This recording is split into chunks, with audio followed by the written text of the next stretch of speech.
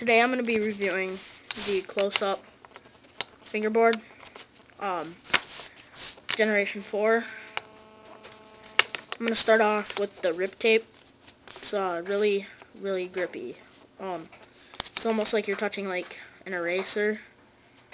Like, it's really, really grippy. And, well, that's basically it on the grip tape. It comes with two sheets. Um, one normal and the other one foam tape, grip tape, or whatever. And it's got the little skull hand logo with the fingerboard on it. And um, now let's get to the deck. It's five plies. Um, it's a red ply on the bottom. Yeah, oh yeah, you can't see it. Right, red ply on the bottom, then a wood ply, then a red ply, then a wood ply, then a red ply, and then the top blue ply. And which is a very strong. It's not doesn't flex. Um, it's got a lot of pop to it, like, and the kicktails are just about a tech deck height, but like it's higher off the ground. It's a little bigger than a tech deck, the whole thing altogether, and uh, that's about it for the deck.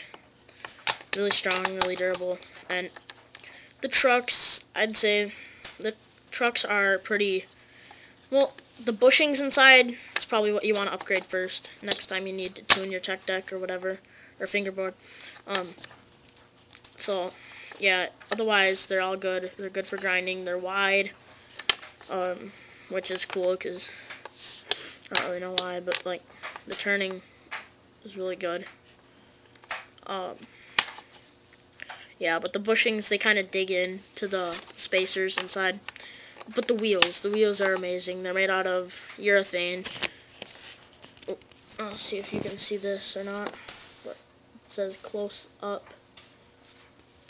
Close up urethane. So, yeah, and they're pretty grippy. It's hard to move on here. And they roll super smooth. Um, yeah, but they have a little metal piece inside. So you can see that. I don't know if you can. But it's got a little metal piece, which makes it roll super smooth. Just put some lubricant in there, or whatever, and it'll roll super smooth. So, yeah, that's the review of the close-up fingerboard.